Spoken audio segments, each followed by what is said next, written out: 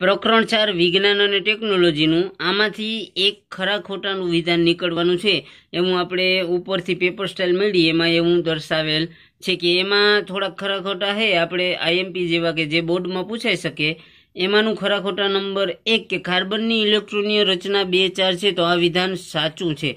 ત્યાર પછીનું બીજા નંબરનું કે અસંતૃપ્ત કાર્બન સંયોજનોમાં બધા જ કાર્બન પરમાણુઓ દ્વિબંધ કે ત્રિબંધથી જોડાયેલા હોય છે. તો આ વિધાન ખોટું છે. ત્યાર પછીનું ત્રીજા નંબરનું કે અસંતૃપ્ત કાર્બન સંયોજનો સંતૃપ્ત કાર્બન સંયોજનો કરતાં વધુ ક્રિયાશીલ હોય છે. તો એ વિધાન સાચું છે. ત્યાર પછીનું હે ચોથા નંબરનું કે ઇથેન એ ઇથિન કરતાં વધુ ક્રિયાશીલ છે. તો એ વિધાન ખોટું છે. પછીનું પાંચમા નંબરનું કે સી ટુ એચ ટુ એ આલ્કિન પ્રકારનું હાઇડ્રોકાર્બન સંયોજન છે. તો એ ખોટું વિધાન છે. ત્યાર પછીનું છઠ્ઠા નંબરનું છે કે ખનિજ એસિડ ઉદ્દીપકની હાજરીમાં કાર્બોસિલિક એસિડ અને આલ્કોહોલ વચ્ચેની પ્રક્રિયાથી એસ્ટર અને પાણી બને છે. તો એ વિધાન સાચું છે. ત્યાર પછીનું સાતમા નંબરનું છે કે એસ્ટર સંયોજનો ફોડો જેવી મીઠી સુગંધ ધરાવે છે. તો એ વિધાન સાચું અથવા તો સત્ય વિધાન છે. પછી આઠમા નંબરનું કે નાઇટ્રોજન અણુમાં તેના બે પરમાણુ વચ્ચે ત્રિબંધ હોય છે. તો એ વિધાન પણ સાચું છે. પછીનું નવમા નંબરનું કે ઓક્સિજનના બે પરમાણુ વચ્ચે બે બે ઇલેક્ટ્રોનની ભાગીદારી કરી ઓક્સિજનના અણુનું નિર્માણ થાય છે. તો એ વિધાન પણ સાચું છે. ત્યાર પછીનું દસમું, હીરો અને ગ્રેફાઇટના રાસાયણિક ગુણધર્મો જુદા જુદા હોય છે. તો એ વિધાન ખોટું છે. ત્યાર પછીનું અગિયારમું કે સલ્ફરનો અણુ આઠ પરમાણુથી બનેલો હોય છે. તો એ વિધાન સત્ય છે. કે બારમા નંબરનું છ કાર્બન ધરાવતા સંતૃપ્ત હાઇડ્રોકાર્બનનું નામ હેક્ઝેન હોય છે, તો એ વિધાન સાચું છે.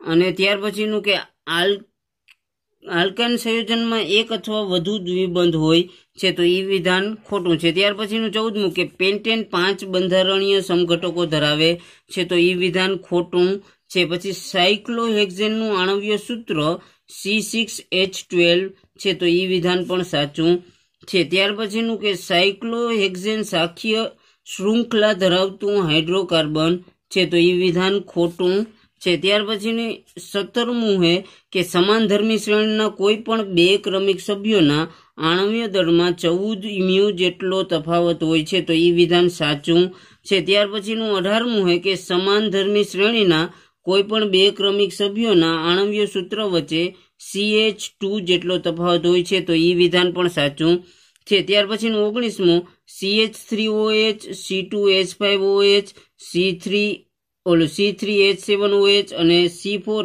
H nine O H એ સમાન ધર્મી શ્રેણીના સભ્યો છે, તો આ વિધાન સાચું છે. ત્યાર પછીનું વીસમું છે, આલ્કોહોલ સંયોજનમાં ક્રિયાશીલ સમૂહ ઓ એચ હોય છે, તો એ વિધાન પણ સાચું છે. પછીનું એકવીસમું છે કે બ્યુટેનાલનું બંધારણીય સૂત્ર CH three CH two CH two CH two CHO છે. તો આ વિધાન ખોટું છે. બ્યુટેનલમાં કાર્બનની સંખ્યા ચાર હોય, આમાં એક, બે, ત્રણ, ચાર ને પાંચ છે એટલે ખોટું વિધાન છે એમ કહી શકાય. ત્યાર પછીનું બાવીસમાં નંબરનું છે કે અસંતૃપ્ત હાઇડ્રોકાર્બન યોગશીલ પ્રક્રિયા દર્શાવે છે. તો એ વિધાન સત્ય છે પછીનું ત્રેવીસમું કે ઇથેનોલનું ઇથેનોઇક એસિડમાં રૂપાંતરે ઓક્સિડેશન પ્રક્રિયા છે, તો એ સાચું વિધાન છે કે એ ખરું છે.